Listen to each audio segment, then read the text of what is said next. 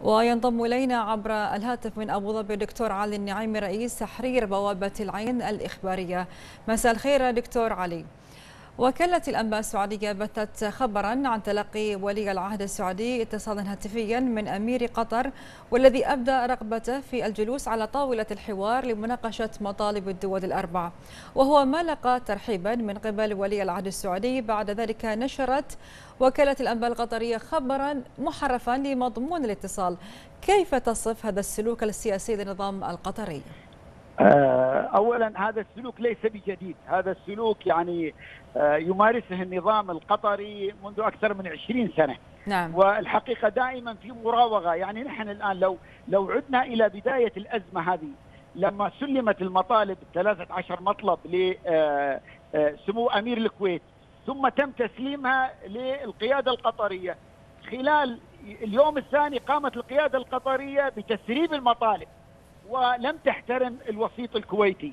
ثم أيضا لما قدمت الرد على المطالب أيضا سربت واتهمت الآخرين به. فنحن الآن أمام يعني أمام قيادة اعتادت على أن تقول الشيء وتفعل نقيضه.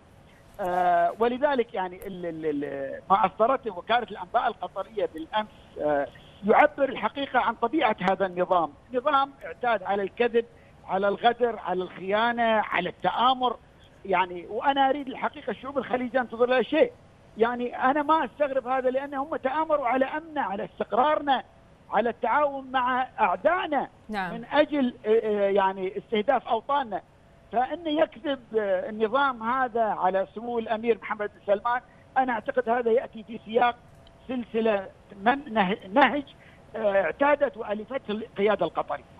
نعم دكتور الشعب الخليجي استبشر خيرا بعد الاتصال الذي تم بين أمير قطر وولي العهد السعودي الا أن النظام القطري لم يكمل فرحة الشعب الخليجي بتحريف الاتصال وهو طبعا أكيد أمر اعتدنا عليه بالنظر إلى تقلبات النظام القطري طوال فترة الأزمة ألا يعي النظام القطري أن مثل هذه التقلبات تفقد الثقة بمحيطه الخليجي والمجتمع الدولي أيضاً؟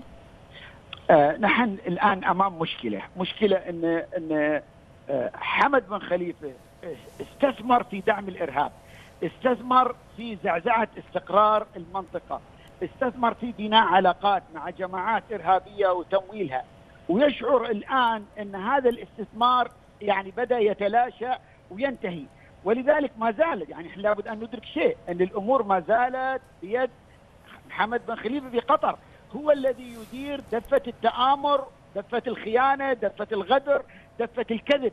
ولذلك هو لا يؤمن بقضية مصالح الشعب الخليجي أو مصالح الشعب القطري حتى. نعم. هو يؤمن بأنه هو عنده رؤية يعني مصر ومعاند في قضية الاستمرار فيها.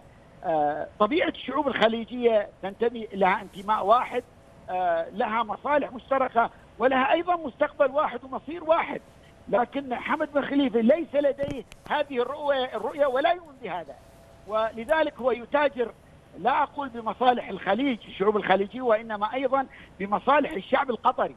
فنحن طبيعتنا كخليجيين لا يعني لا نبحث عن حروب لا نبحث عن مشكلات يعني لا نستم نستسيغ الأزمات. بل دائما نحن عشاق سلام عشاق استقرار.